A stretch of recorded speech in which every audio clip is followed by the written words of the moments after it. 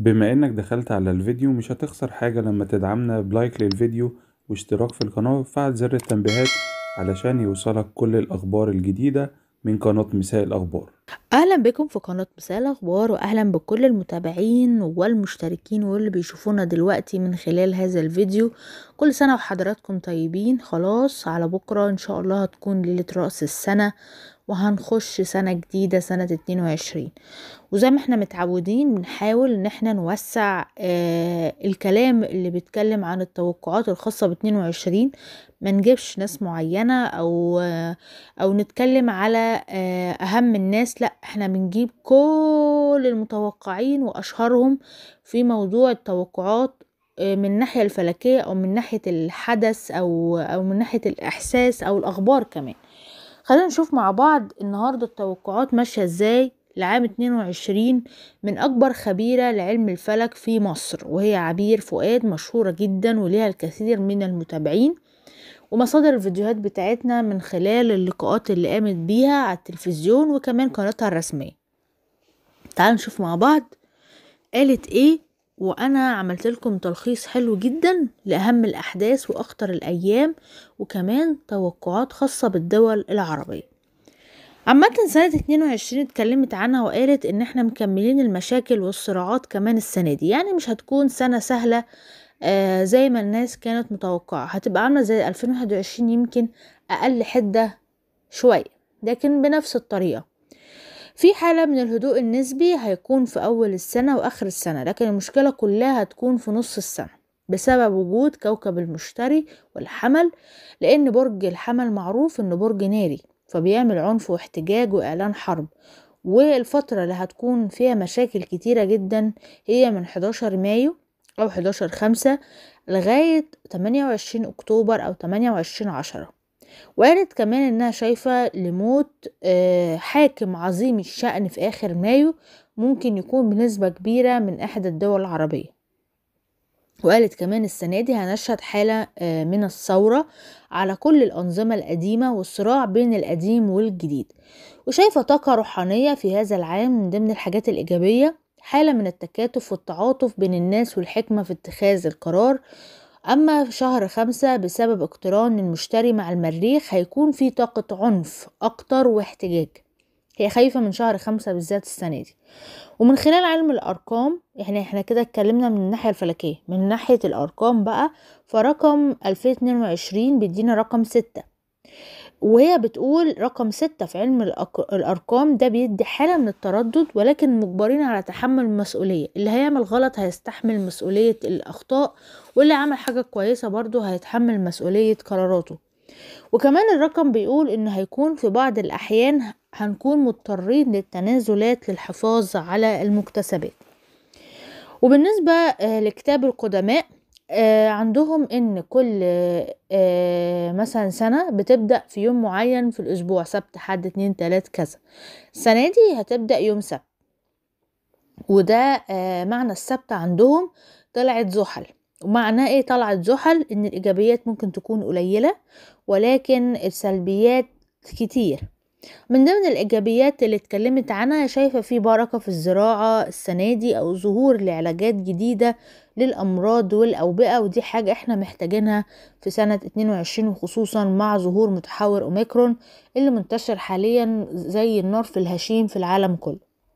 بالنسبة بقى للسلبيات إن السنة تبدأ يوم سبت في 22 قالت إن السرقة والموت والحمى وانتشار الأوبئة هيكون كتير. مش بس للإنسان ولكن أيضا للحيوان. وشايفة كمان غلاء بيزيد خصوصا في بلاد الشام والعراق واليمن. وقالت الشتاء هيجي شديد جدا والصيف برضه هيكون شديد. وفي حاجة مفزعة هتحصل في موسم الحج. ربنا يستر إن شاء الله ما يحصلش أي مشاكل. الجرا... الجراد برضو هيزيد وقالت سعر الفضة كمان هيزيد. بالنسبة لأخطر التواريخ بسبب الزوايا الفلكية اللي ممكن نشوفها في عام 22 ودلالتها قالت من أخطر التواريخ هي آه تاريخ 12 إبريل أو 12 أربعة. قالت هيحصل فيه إقتران لكوكب المشتري وكوكب نبتون. وده معناه إن مفيش حدود للأطماع والرغبات والجشع هيكون زايد جدا.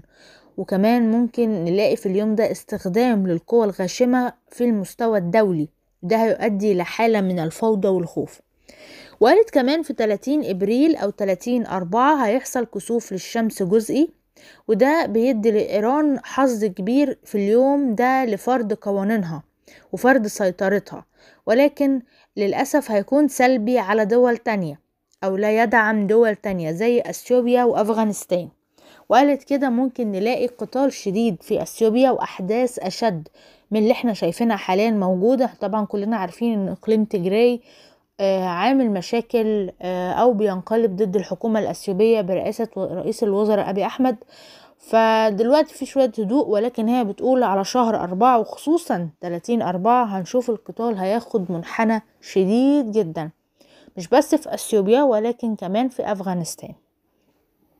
ومن ضمن التواريخ الخطيرة اللي اتكلمت عنها تاريخ 16 مايو أو 16 خمسة هيحصل خسوف كلي للقمر في العقرب وده هيسمى دايما الخسوف الكلي اللي بيحصل في شهر خمسة بيتسمى بقمر الدم وده هينتج عنه كشف الأسرار على مستوى الدول وانكشاف لمكائد أو محاولات اغتيال ولكن الإيجابي في الموضوع ده هيكون في تحسن في إدارة العلاج والأوبئة. ودي حاجة مهمة جدا. أيضا من الحاجات الخطيرة من أول شهر 8 أو أغسطس لغاية شهر ديسمبر أو 12 هيحصل اقتران لكوكب المريخ مع أورانوس. في أغسطس مثلا من أول أغسطس هيحصل هينتج عنه عواصف وكوارث طبيعية. كوارث طبيعية حتى أول ديسمبر في في بلاد متفرقة من العالم. وتغيير غير مرغوب فيه على مستوى العالم أو حتى على مستوى الأفراد. أما التواريخ برضو المهمة اللي حاصلة ما بين أغسطس وديسمبر يوم خمسة وعشرين أكتوبر أو خمسة وعشرين عشرة قالت هيحصل فيه كسوف جزء للشمس في العقرب وده معناه إنه هيظهر وباء في المواشي وموت لناس كتير بسبب اختلاف طائفي أو ديني ولهذا في يعني موت يعني بسبب كده هنشوف الموت كبير جدا مش سايب الإنسان أو الحيوان لأسباب مختلفة. وأكتر الدول اللي هتكون متضررة في التاريخ ده الهند. أما الخسوف الأخير للقمر هيحصل في 8 نوفمبر أو 8 11 في برج الثور وده معناه هنشوف أزمات بتكون أشد في عدة دول وخصوصا لتركيا ولبنان وإسرائيل وأثيوبيا والهند. أكتر كم دولة دول اللي أنا قلتهم هيبقى عندهم أزمات شديدة شوية. في 20 نوفمبر هنشوف مربع فلكي. مربع فلكي في 20 نوفمبر أو 2011 مع المريخ ونبتون هنكون أو هتكون فترة فيها خوف وقلق وعصبية وهروب من الواقع للخيال. وطاقة مكبوتة عند الناس هتبتدي تفرقع أو هتظهر. وهيحصل تراشق بالألفاظ أو تراشق بالاتهامات مش بس على مستوى الأفراد لكن على مستوى العالم. هنلاقي دولة بتتهم دولة وهكذا. وقالت كمان بالنسبة لأهم الحروب اللي ممكن نشوفها في 2022 إعلان حرب كبيرة بين أمريكا والصين. هو اوريدي الحرب موجودة حتى لو كانت سرية أو مستترة أو ضرب من تحت الحزام لكن هيبقى على العلن في النص التاني من عام 22 أما عن اللي بيسأل عن الكورونا قالت الكورونا مستمرة وموجودة لأ وهتزيد كمان في النص الأول.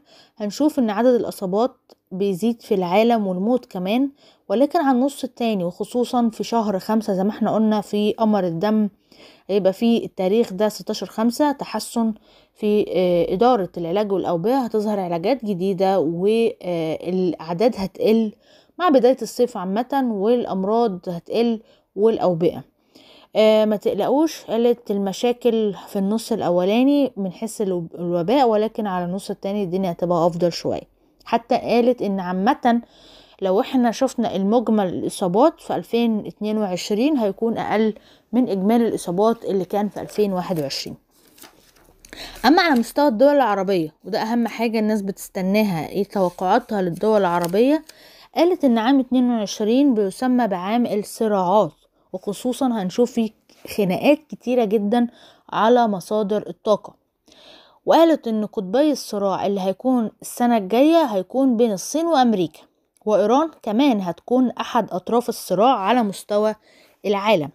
في الوطن العربي شايفة بعض الاستقرار من الناحية السياسية لبعض الدول ولكن من الناحية الاقتصادية شايفة في مشكلة كبيرة جدا عند بعض الدول الأخرى. أكتر دولة هتكون متضررة عربية في 2022 هي اليمن للأسف.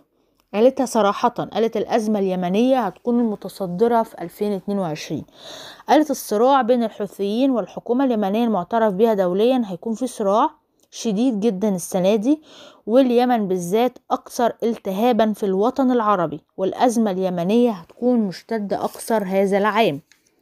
أما عن ليبيا والانتخابات الرئاسية قالت هتاخد شوية وقت ليبيا عقبال ما الدنيا تهدى شوية عندها ولكن لسه في شوية صراعات في 2022 هتهدى تدريجيا نحو الهدوء. بالنسبة للبنان الأزمات الاقتصادية بتكون موجودة ومستمرة في لبنان.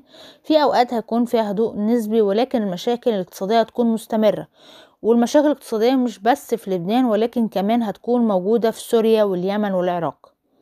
أما عن مصر قالت مصر معرضة للضغوط والتحديات الكتير ولكن في نفس الوقت شايفة علاقات خارجية ودعم خارجي وده بنشوفه من رقم مصر. هيكون في توطيد للعلاقات على المستوى الدولي وهيكون كتير جدا وده هيكون داعم لمصر. يعني على قد الضغوط هيكون في دعم فالموضوع شايل بعضه يعني. دي كانت التوقعات الفلكية وعلم الأرقام والقدماء واتكلمنا كمان عن الدول العربية لعام 22 أتمنى يكون الفيديو فيه كل الأسئلة بتاعتكم. أنا عارفة أن في بعض الدول التانية ما تكلمناش عنها ولكن هي دي الدول اللي ذكرتها عبير فؤاد في فيديوهاتها كلها على اليوتيوب وعلى التلفزيون وعلى قناتها. عملنا تلخيص ليكم أكبر الأعداد علشان تكونوا عارفين النظرة الكاملة والشاملة لعام 22 من حيث وجهة نظر عبير فؤاد ودراستها في علم الفلك. شكرا لحضراتكم. أتمنى الفيديو يكون عجبكم. ما تنسوش اللايك والشير. وأهم حاجة الاشتراك في القناة وتفعيل الجرس علشان تقدروا تتابعونا في الإشعارات.